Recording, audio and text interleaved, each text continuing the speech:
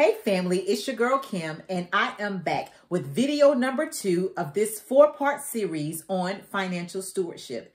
Today we talk all about savings and the importance of it. Be sure to turn on your notifications, subscribe, and if you have any questions, drop them in the comment box below. All right, let's get ready for this episode of Hey Good Steward. See you on the other side.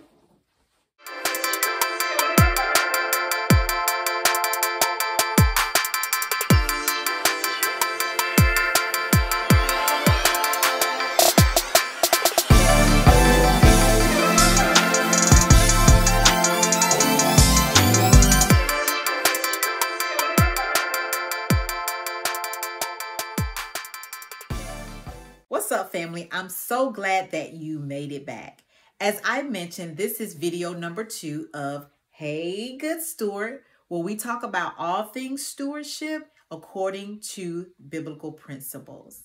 And so we're doing the four-part series on the important aspects of financial stewardship, and there are four. If you had not had a chance to check out video number one, go ahead and check it out after this video. We talk about budgeting just a little bit. And on this video here, we're talking about savings, all right? And before we move any further, of course, you know we have to go into prayer.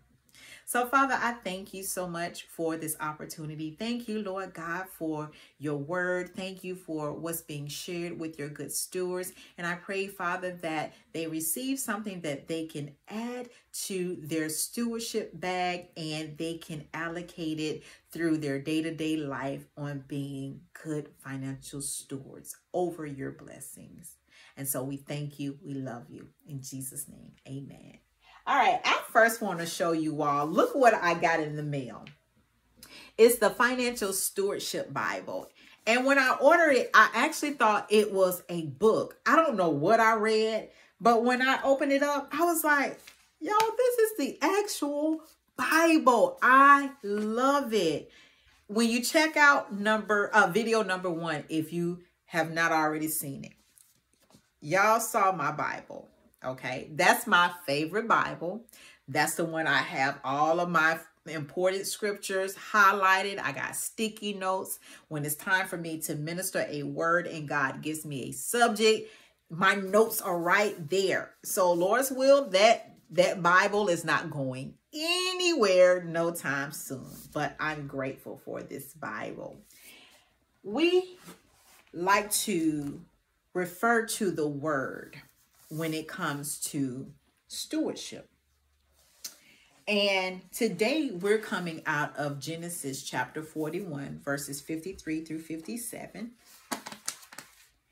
And it's a familiar uh, story for um, a lot of us. And it's about brother Joseph.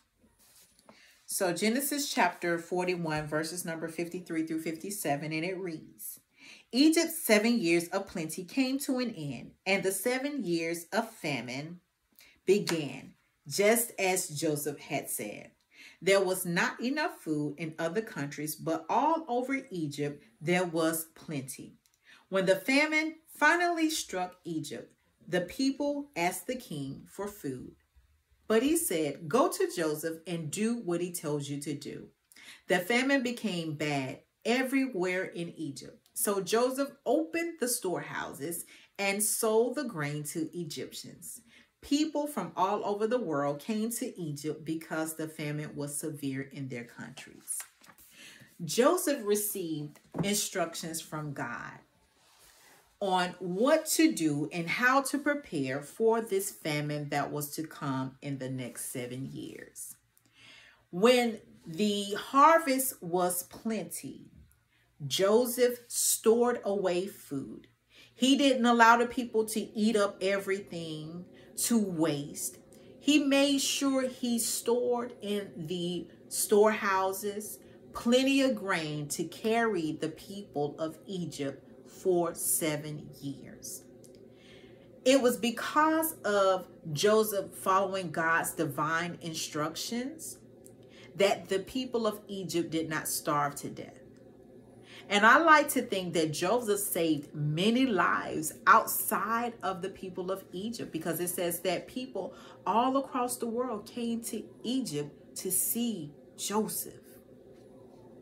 So, like Joseph, you and I, we have to steward our harvest, meaning that we can't spend up everything that we receive when it comes to our financial blessings.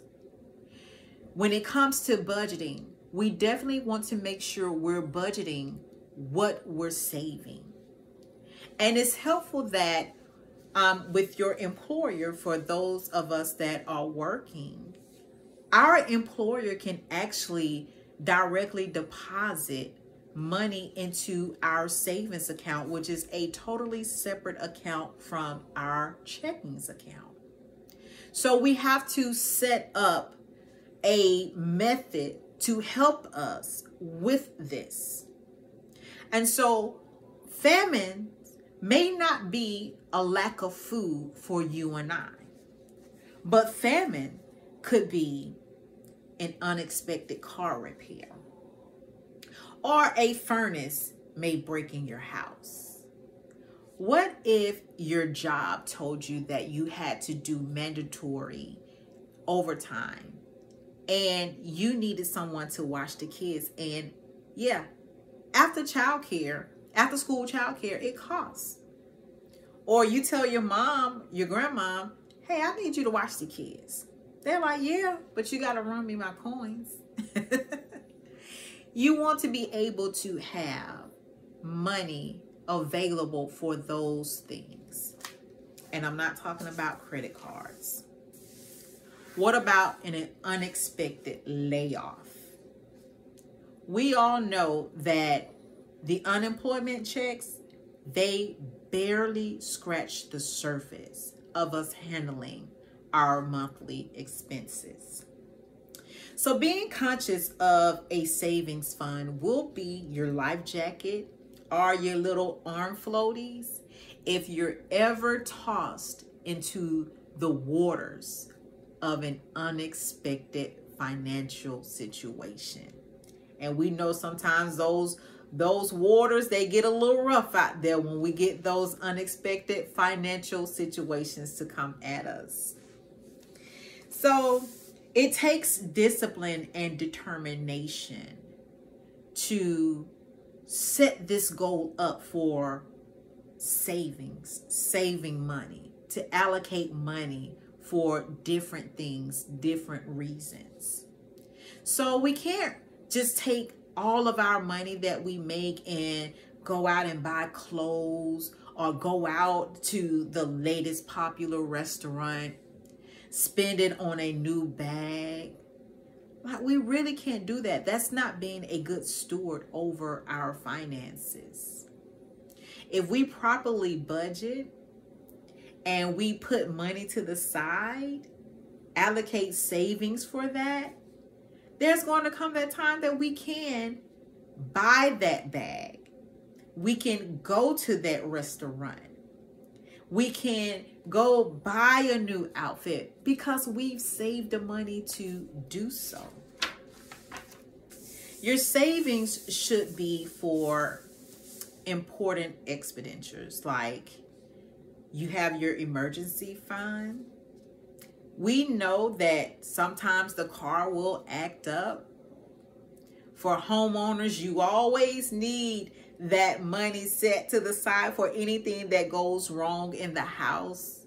And I know some of us, we have the warranty uh, policies, but they want their deductible. So we definitely want to have that put up into a savings account. What about for Christmas and birthdays, vacations? You know, it's good to set up savings for those celebrations and for those vacations. If we know that the kids will need clothes coming up for the next school year, do you know you can actually allocate funds to a separate savings account for that? It's really important to set ourselves up for the future. And savings is an important aspect as we see with Brother Joseph. And so, like Joseph, we, we have to be a good steward.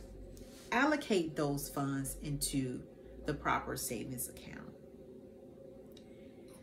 I know a lot of us, we think that credit cards are a good way to handle those expenses.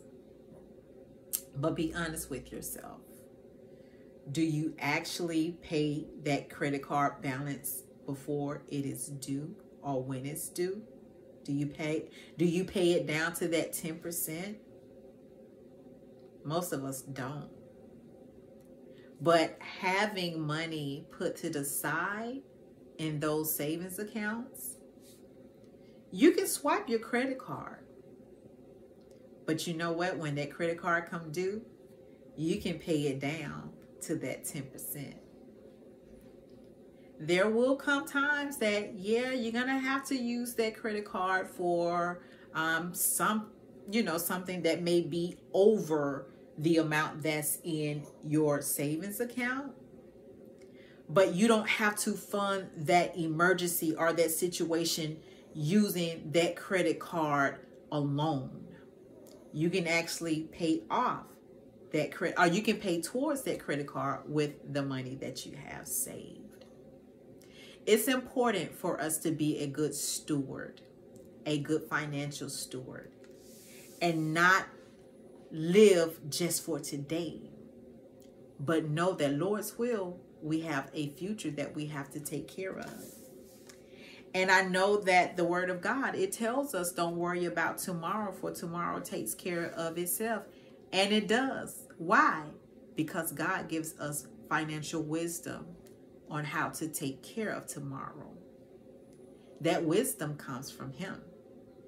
So, with that being said, I hope I said something to help.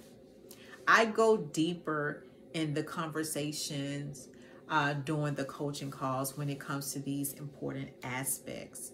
But I did want to just drop some gems and some jewels on these video on, on the four-part videos. And so I'm thankful that you did uh, take time to watch this. And we'll get ready and close out in prayer. Thank you, dear God, for the person that's watching this video. I thank you, Lord God, that you're turning their financial situation around and they are being good stewards over their finances. And we want to make you proud. So, Lord, we just ask that you continue to guide us and lead us and give us wisdom on how to be good stewards. In Jesus' name, amen.